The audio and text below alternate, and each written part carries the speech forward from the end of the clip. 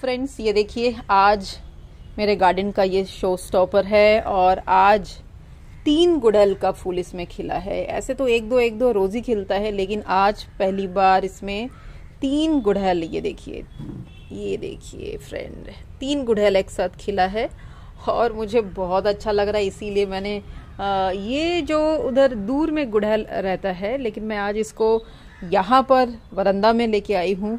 और चूँकि आज ये शो स्टॉपर है तो फ्रेंड विंटर में ये जो हाइब्रिड गुड़हल है, बहुत अच्छा खिलता है। तो बहुत अच्छा खिलने के लिए आपको थोड़ा केयर करना है। तो बाकी पौधों के जैसा इसको भी आपको केयर करना है। आप थोड़ा सा मिट्टी को थोड़ा सा हल्का गुड़ाई कर दे। आप इसमें अगर आप चेक करें फंगस वगैरह तो नहीं है मिली बग्स तो नहीं लगा है, क्योंकि सफ़ेद सफ़ेद आप देखना वाइट चिपचिपा मिली बग्स लगाते हैं गुड़हल के पौधों में, उसको चेक करें। अगर वो है तो आप नीम ऑयल स्प्रे कर सकते हैं। नीम ऑयल के साथ आप कोई भी लिक्विड सोप मिला के स्प्रे करें और फ्रेंड आप नीम खली दे सकते हैं। मिट्टी में नीम खली आप दे दे। और फ्रेंड आप इसको ऑर्गेनिक खाद खूब पसंद है। आप ऑर्गेनिक खाद में आप सरसों खली दे सकते आप वर्मी कंपोस्ट दे सकते हैं। सरसों खली इस समय आप दे सकते हैं क्योंकि थोड़ा सा ठंडक हो गया है मौसम में शाम को। दिन में तो खैर धूप होती है।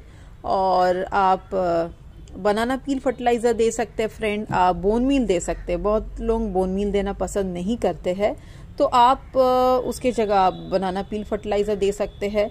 और ये कैसे बनाना पील फर्टिलाइज़र बनाना है, सरसों खली को कैसे देना है, ये सारा आपको चैनल में मिल जाएगा। तो फ्रेंड्स ये देखिए, कितना प्यारा आज ये लग रहा है।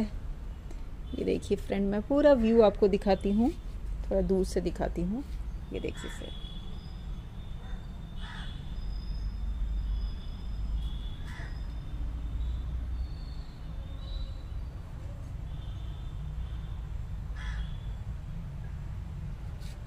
आप देख सकते साइज़ कितना ज़्यादा बड़ा है इसका। ये देखिए, हाथ से भी बड़ा है। और इसका लाल रंग बहुत प्यारा सा है।